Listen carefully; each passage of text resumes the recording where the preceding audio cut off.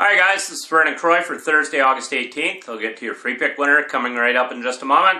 First of all, make sure that you subscribe to my YouTube channel right now and you'll get an instant notification every time I post a free pick.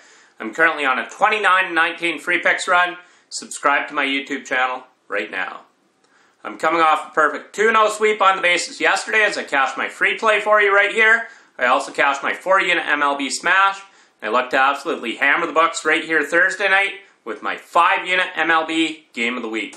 You can get it right now on the Premium Picks page exclusively at DocSports.com. I'm currently on a 13 and 3 Major League Baseball run, good for 81% the last 16 plays I've released. I'm also on a 20 and 7 Major League Baseball run the last 17 days overall, making my $100 clients $5,675. Get my 5-unit MLB Game of the Week right now exclusively at DocSports.com.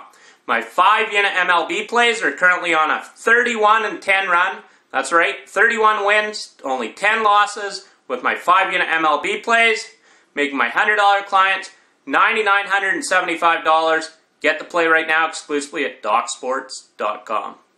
I also have a very strong NFL preseason play going right here Thursday. You can get it right now on the Premium Picks page exclusively at DocSports.com along with my 5-unit CFL Game of the Week that goes Friday. You can get it right now on the Premium Picks page as well, exclusively at DocSports.com. Your free pick winner for Thursday, August 18th. We're taking the San Francisco Giants on the money line over the New York Mets. The Giants are 4 and 1 in Bumgarner's last five starts against the Mets. And the Mets are just 1 and 6 in their last seven games when facing a lefty starter. Now they face one of the best in the game. So once again, your free pick winner for Thursday, August 18th.